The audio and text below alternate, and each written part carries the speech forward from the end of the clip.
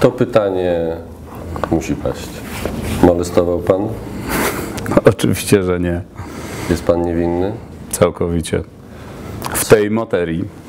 Skoro pan jest niewinny, dlaczego TVN pozbył się pana tak szybko i chętnie? Pytanie do TVN-u.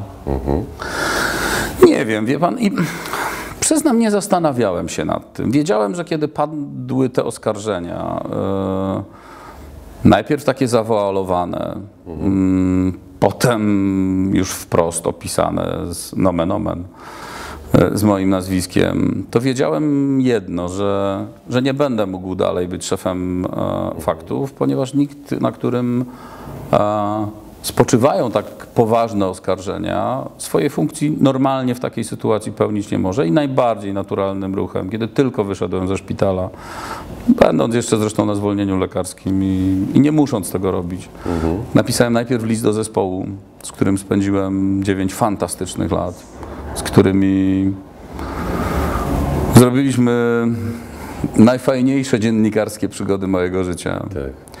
E, w którym im za te 9 lat podziękowałem, e, przeprosiłem za to, co było nie okej i powiedziałem, że oni muszą mieć swobodę pracy, a nie tłumaczenia się z zachowań prawdziwych albo nieprawdziwych swojego szefa.